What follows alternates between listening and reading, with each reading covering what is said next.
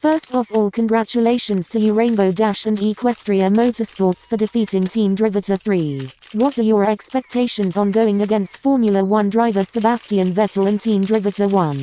Well, first of all, I raced against Sebastian Vettel back when I visited the Nürburgring about a month ago. So, truth be told, he is a fierce racer.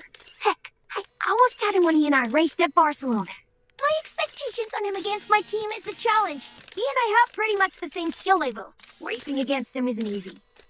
What drives you and your team to prevail to the next level and how do you get to that point? To keep it plain and simple, our driving power is mainly to work hard, play hard.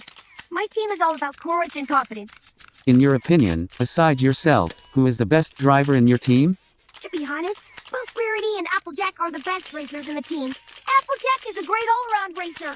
And Rarity, she just won a freaking championship last year. She got some serious skills with that supercar of hers.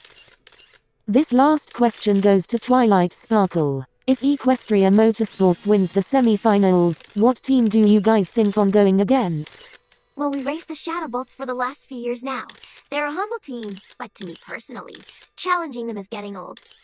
Since the newcomer this season, Team Caliber Sports has true potential to compete against us. They have quite the skills for a young team. Looks like you guys can take any challenge that stands in your way. Well thank you Rainbow Dash and Twilight Sparkle for having the time to speak to you. Good luck in the semi-finals.